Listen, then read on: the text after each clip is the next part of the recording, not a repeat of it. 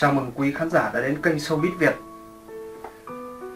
Kính chúc quý khán giả có những giây phút thư giãn thật tuyệt vời bên chúng tôi. Và đừng quên đăng ký bên dưới, cũng như bấm vào chuông thông báo để nhận được những video clip mới nhất trong ngày. Và bây giờ, xin mời quý vị hãy đến với những tin tức nổi bật nhất trong ngày hôm nay. Giữa tâm báo Vũ Hà nhắn tin, nhắn nhủ đến Đàm Vĩnh Hưng làm ơn, sau này có chuyện gì, trước khi phát ngôn, hãy hành động, hãy nghĩ tới tao. Nam ca sĩ phân tích, đề lý tình về scandal mà bạn thân đang mắc phải. Những ngày qua, thông tin Đàm Vĩnh Hưng có thể bị truy tố trách nhiệm vì đăng dòng trạng thái có ý kích động. Mọi người gây nguy hiểm, nguy hại cho người bố say rượu, đánh con trai mình. Sau nhiều ngày, im lặng, Đàm Vĩnh Hưng đã lên tiếng khẳng định, mình vẫn ở đây và chịu hoàn toàn trách nhiệm trước pháp luật vì hành động và ngôn từ của mình. Khi mọi người xung quanh vẫn án binh bất động về câu chuyện của Đàm Vĩnh Hưng, Duy chỉ bạn thân chí cốt của anh là nam ca sĩ Vũ Hà đã lên tiếng. Trên trang cá nhân của mình, Vũ Hà đã dành dòng trạng thái dài cho bạn mình. Anh bày tỏ sự lo lắng vì mỗi khi có chuyện Đàm Vĩnh Hưng đều không trả lời tin nhắn và cũng không nghe điện thoại hễ có chuyện là y như rằng tôi điện thoại nhắn tin nó không thèm trả lời.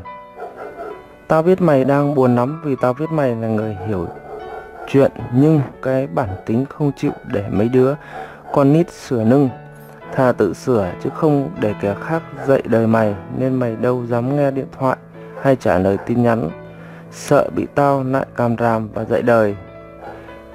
Tao quá hiểu với cái nết nóng này bộc trực thẳng tính như thế nếu biết mình không sai thì mày đã chửi banh tám cái chợ biến thành rồi.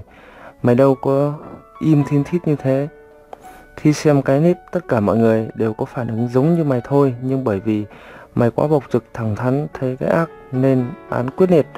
Rồi mày sợ nếu không kịp thời ngăn chặn người cha bạo hành, đứa trẻ, thì có thể đứa bé sẽ bị nguy hại tới tính mạng vì trong clip người cha hơn một lần nói là muốn giết đứa bé, rồi với cái nét ào ào không nghĩ trước nghĩ sau, rồi một cái status thiếu suy nghĩ. Mà mọi người biết không, nó đâu có nhẹ nhàng hài hước như em.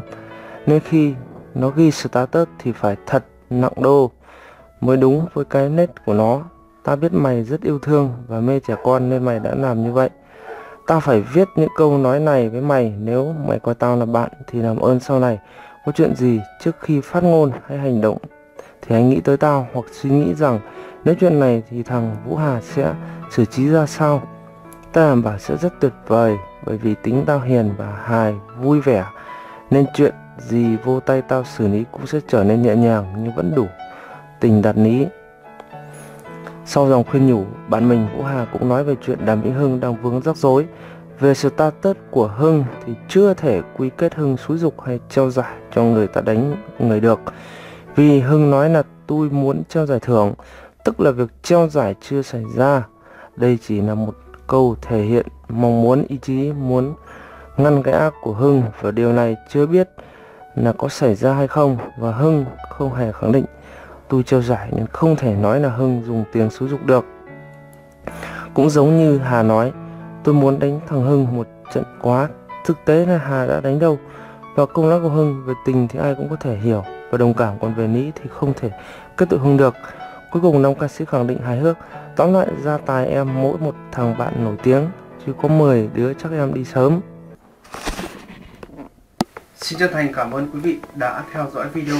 Quý vị hãy kích vào đăng ký kênh ở phía dưới để cập nhật những video mới nhất trong ngày quý vị nhé. Xin cảm ơn quý vị rất nhiều.